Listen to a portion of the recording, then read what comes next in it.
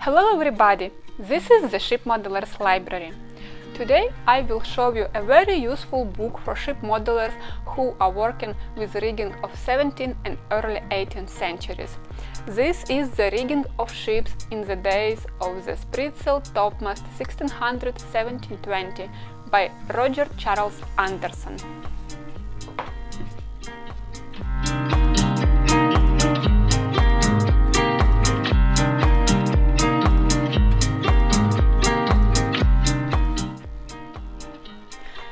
About how English, French, Dutch and other European ships and warships were rigged from stern to stem in maritime history.